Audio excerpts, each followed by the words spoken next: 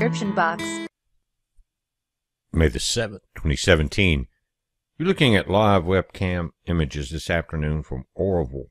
And um, this is Oroville Dam. You've seen them many times. They're going to pull this up a little closer as we go through the three different angles they give us. And you can tell they've let a lot of water out of the reservoir, and that's a good thing.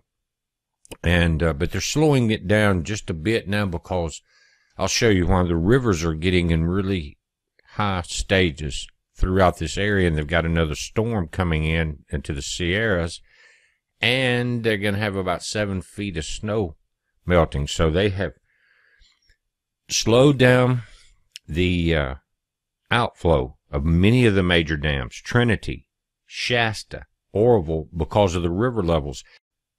And as they change cam- uh, camera angles, you can see how much water they've let out. And that's a good thing, but they're kind of reaching that delicate balance point of trying to keep the river levels intact from the outflow and watching the inflow also. But guys, I can tell along the shore that they're down several feet because I watched it so many times. Usually that water is right there at that rock level along this bottom terrace. And you can usually see these three separate uh, humps and then this area here. So they've drained it quite a bit in anticipation. That's not the only problem. They've always said, well, the dam is really in really good shape. It's the overflow and things like that, and the spillway that's had the problems. And if you look at this, guys, uh, extremely low compared to what we've seen. You can see the construction over there on the far right, and what they're doing is kind of amazing to me, and it's kind of scary at the same time. Is they're doing dynamite blast on that side of the dam to uh, terrace it off, and they're going to do. They're starting to do it on the other side, blasting down, creating a terrace, so you don't have that straight runoff. But looking at the dam levels, uh, Trinity is uh, 96% at total capacity. Shasta is. Oroville that we're looking at is 77. It's 94% of historical averages. As you look at these reservoir levels around the state, you can see they're all full. Now Shasta and Trinity are above the uh, historical levels as much as 111%. But look at Oroville Dam, and this is kind of a telltale here.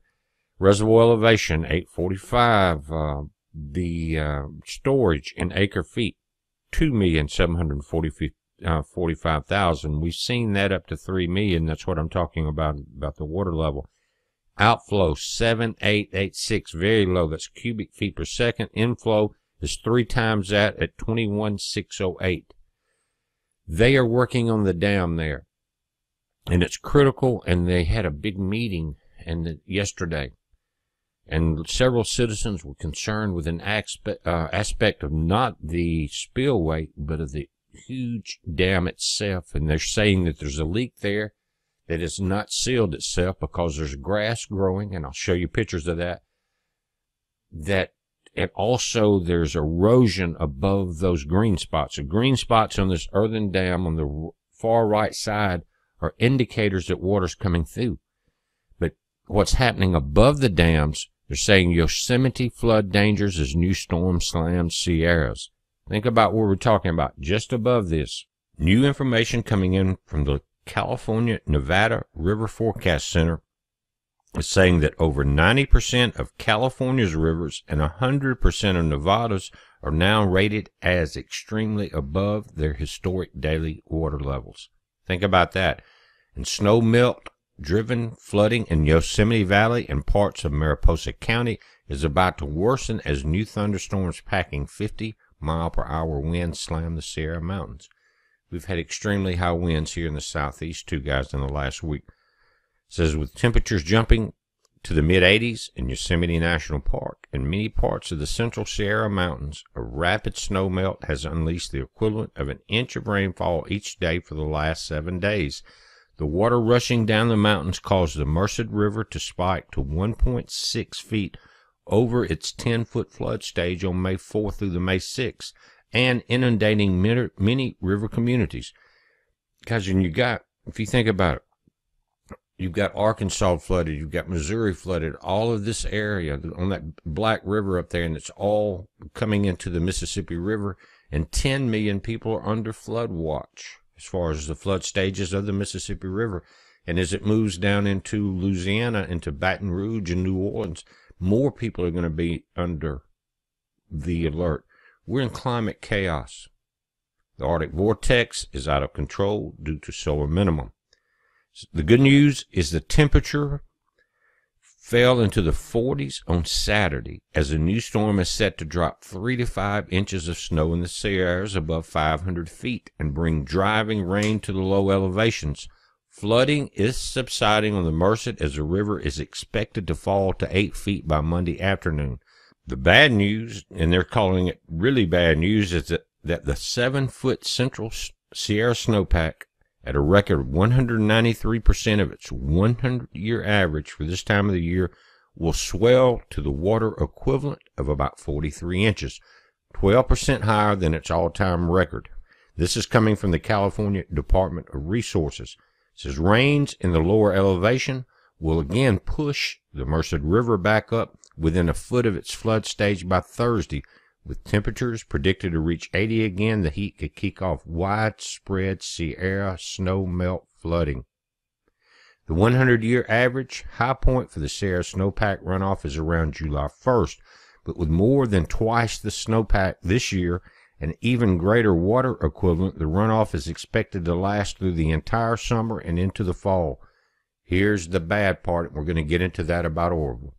That means the soil around the state's 1,500 dams, 120 rivers, and thousands of flood control levees will be saturated. Now, three weeks ago, they took this picture long after it started. But this green grass on the side of the dam, now again, not the spillway, this is the main dam. This is the big boy here, the largest uh, or the highest dam in North America.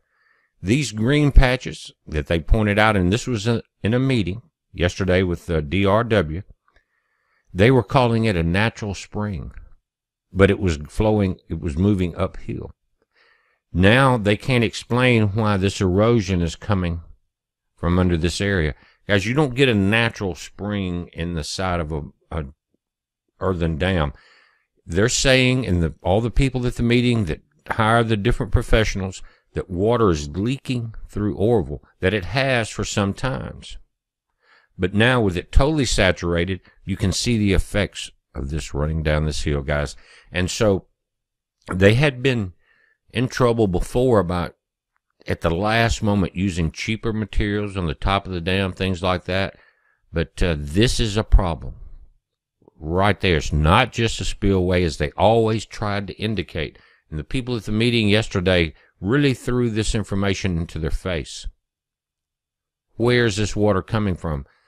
And at one time they said it was leakage that would stop as they were initially building the dam in layers as everything compacted and compressed, but it didn't here. So as the soil saturates more and more, will this earthen dam hold in place? That was not, that's not me saying this. This was the whole gist of the meeting yesterday with the DWR there. Several concerned people. And this is what we got to watch for. And in this report, guys, it uh, I understand the uh, effect of terracing to slow down that water flow, but in a situation like this, it seems almost extreme. Lake Oroville currently sits at an elevation of 838 feet, and DWR, uh, Department of Water Resources officials say that they are prepared to manage snow melt inflows to the reservoir while they maintain uh, while the main spillway is not in use. The main spillway will be used for another control release in mid-May. It's May 7th. When it comes to the construction and repair of the Oroville Dam spillway, the DWR has awarded Kiewit Construction a contract for the repairs. On May 5th and 6th, two days ago, they used controlled blasting methods to break up the intact rock on the slopes along the main spillway so that it could be safely excavated. Dredge, dredging operations have also resumed in the area beneath the spillway. Guys, with that type of uh, soil saturation and removing the stable rocks, don't they think that they can create other problems but it's California. DWR wants to clarify that the green spots along the Oroville Dam are vegetation and pose no threats to the dam safety. But in the report, guys, five paragraphs were completely redacted. You couldn't read it from the engineers.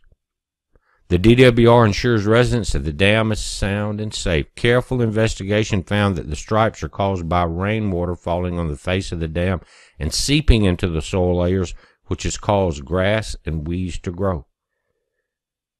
Guys, these this was happening during the drought. It's been going on since they started building this dam. One cover up after the other. But we're watching it. Pay attention to what's going on with the uh, snow melt and the new storms coming in, and just hope that they can maintain that balance of outflow, keeping the rivers at a minimum, inflow, because they have no choice. But we're watching. It's a heads up. Be safe.